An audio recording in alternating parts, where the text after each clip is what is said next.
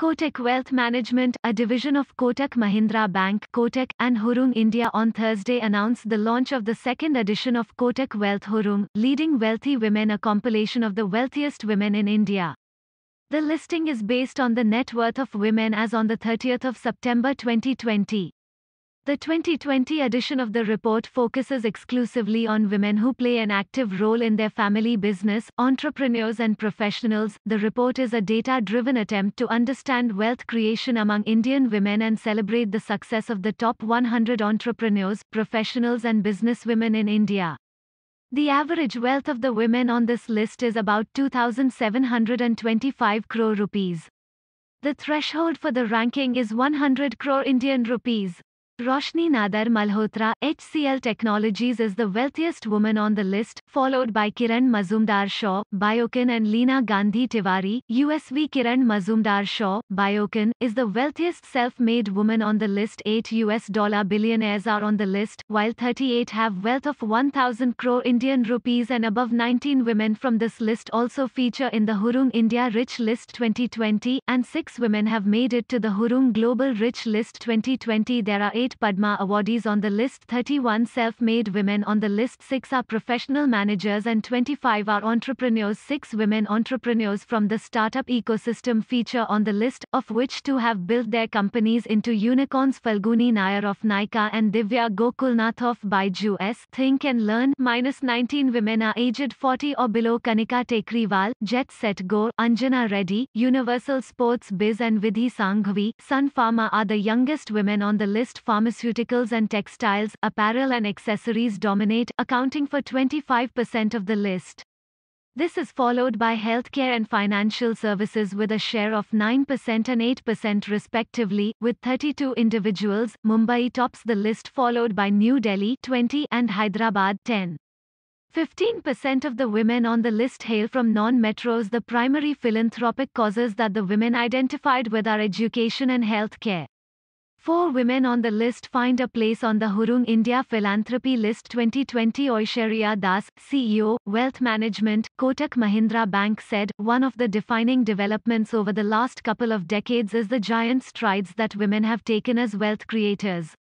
The Kotak Wealth Hurun Leading Wealthy Women 2020 report reveals an interesting and inspiring trend of more and more trailblazing women leading the way and scripting success stories across a wide variety of industries and encompassing cities and towns pan India. For India to achieve its aspirational target to be a 5 trillion United States dollars economy by 2025, women will continue to play a crucial role as wealth creators in order to achieve that goal. Anas Rahman Junaid, MD and Chief Researcher, Hurun India said, the women on the Kotak Wealth Hurun, Leading Wealthy Women 2020 list are the most successful women leaders in India. Their stories deserve to be shared and studied. What is it that makes them successful?